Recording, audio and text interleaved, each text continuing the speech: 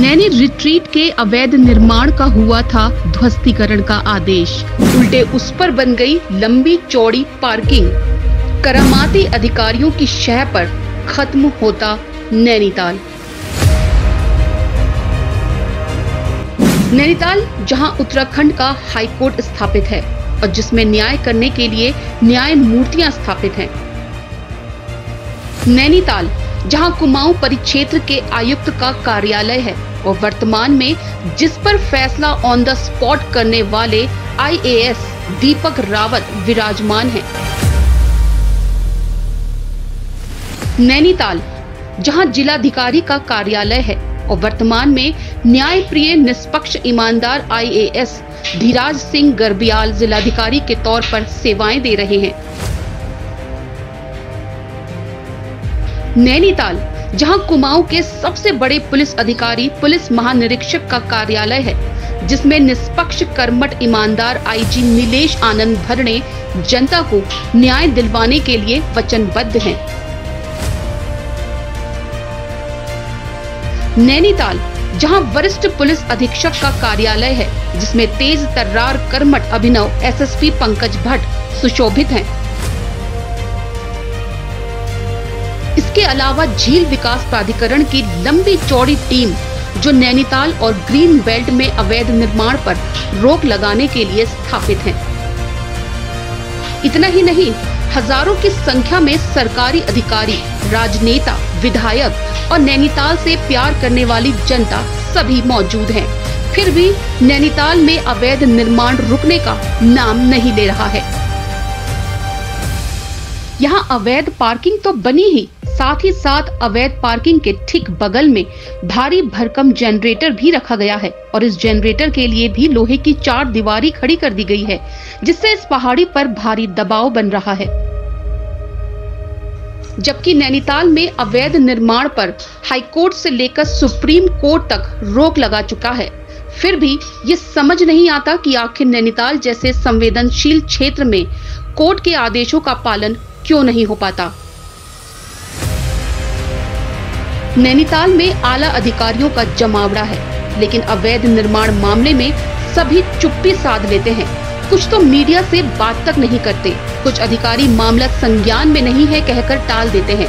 कुछ निहायती ईमानदार अधिकारी कहते हैं कि मामला अभी संज्ञान में आया है, कार्रवाई करेंगे, जैसे कि नैनीताल और प्रकृति पर एहसान कर रहे हों। मोटी मोटी पगार और सभी तरह की सरकारी सुविधाओं को लेने वाले नैनीताल के अधिकारियों की नाक के नीचे महज कुछ ही मीटर दूर सील किया हुआ अवैध निर्माण ध्वस्त करने की बजाय पूरा हो जाता है।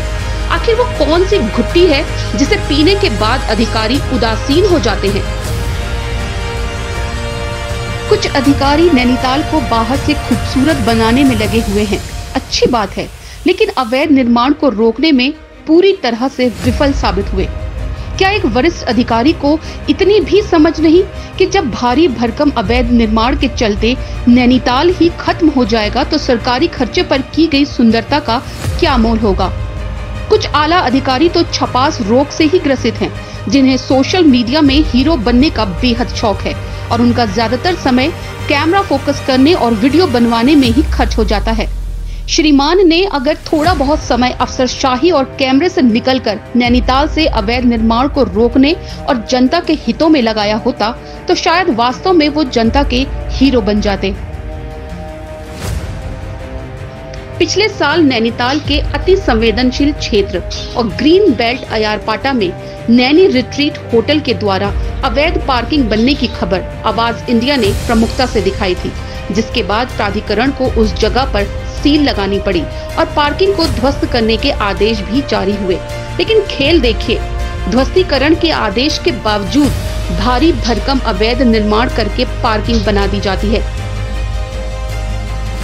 गौर करने वाली बात है कि उन्नीस में सुप्रीम कोर्ट ने नैनीताल निवासी पर्यावरण विद प्रोफेसर अजय रावत की जनहित याचिका पर नैनीताल में ग्रुप हाउसिंग के साथ ग्रीन बेल्ट क्षेत्र में निर्माण कार्य पर प्रतिबंध लगा दिया था। साथ ही प्रोफेसर अजय रावत की जनहित याचिका पर हाईकोर्ट उत्तराखंड ने भी ग्रीन बेल्ट क्षेत्र में अवैध निर्माण पर कार्रवाई के निर्देश दिए थे। भारी भरकम निर्माण कार्य और योजनाओं की भीड़ चढ़ते आज हम सब जोशी मठ को देख रहे हैं। एक ऐतिहासिक शहर इतिहास के पन्नों में दफन होने जा रहा है। जोशीमठ ही नहीं, बल्कि उत्तराखंड के कई पहाड़ी इलाकों में धीरे धीरे अतिक्रमण, भारी निर्माण कार्य जंगलों के कटान कर कंक्रीट का शहर बना दिया गया है। नैनीताल भी इसी तरह इंसानी लालच की भेंट चढ़ता जा रहा है। नैनीताल वासी खामोशी के साथ नैनीताल को खत्म होते देख रहे हैं। नैनीताल, जहाँ सभी बड़े कार्यालय स्थापित हैं, वहाँ ग्रीन बेल्ट में अवैध निर्माण पर सुप्रीम कोर्ट तक के आदेशों की जमकर धज्जियाँ उड़ाई जा रही हैं। आज नैनीताल के अस्तित्व को अवैध निर्माण के चलते खतरा पैदा हो गया है, जिसके दोषी नैनीताल के वो लालची लोग हैं जो व्यक्तिगत लालच के चलते अवैध निर्माण करते हैं, और उससे भी कहीं ज़्यादा वो अधिकारी दोषी हैं, जिन्हें नैनीताल को सुरक्षित रखने के लिए नैनीताल में बकायदा सारी सुख सुविधाओं से नवाज़ कर स्थापित किया हुआ है।